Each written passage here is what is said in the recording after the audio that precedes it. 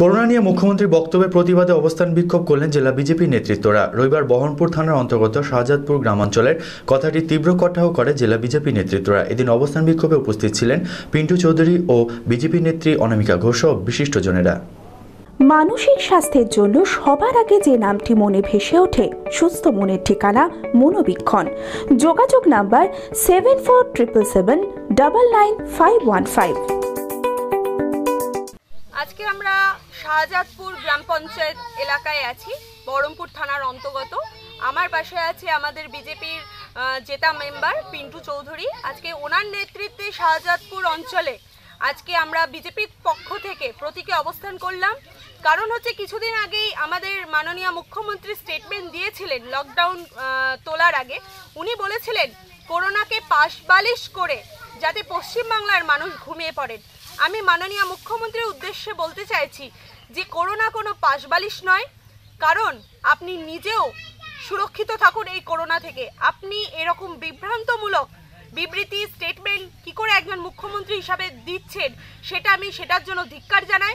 আমি এই স্টেটমেন্টের জন্য মমতা ব্যানার্জিকে মানে বলতে চাইছি মানে সবাইকে বলতে চাইছি, ওনার এই স্টেটমেন্টে স্টেটমেন্টটা দুই ধরনের হতে পারে। এক হচ্ছে উনি জেনে শুনে দিয়েছেন আর দুই মানে না হয় উনি না জেনে শুনে দিয়েছেন। যদি আমরা ধরে নিই যে উনি জেনে শুনে দিয়েছেন, তাহলে আমি বলব উনি যে ব্যর্থ, করোনা মোকাবেলায় ব্যর্থ মুখ্যমন্ত্রী, সেটা বুঝেই তিনি এই স্টেটমেন্ট দিয়েছেন।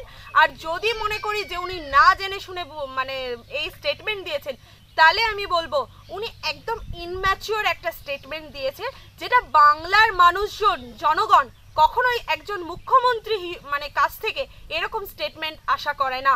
তারও জন্য আজকে মানে এই সতর্কতা বার্তা আজকে আমরা দিতে, দেওয়ার জন্য এই প্রতীক অবস্থান বিজেপির তরফ থেকে।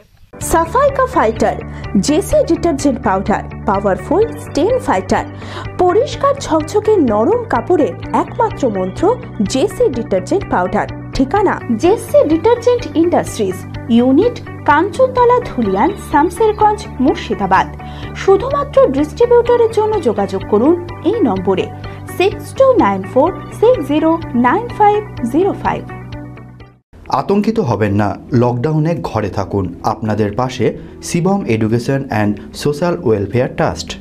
এই করোনার যদি আমাদের মোকাবিলা করতে হয় আগামী দিনে আমরা যদি সুস্থ সবল থাকতে চাই এবং গোটা ভারতবর্ষকে তথা পশ্চিমবাংলা, মুর্শিদাবাদে বাসীকে নিরাপদে রাখতে চাই। তবে আমাদের এখন একটাই রাস্তা, আমাদের ঘরে থাকতে হবে এবং ঘরের ভেতরেই থাকতে হবে।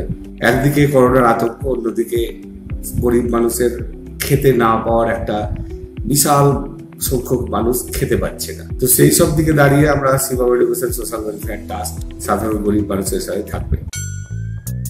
স্বপ্নের সাজে মানে বালু আসমানি জড়ি পার নকশা।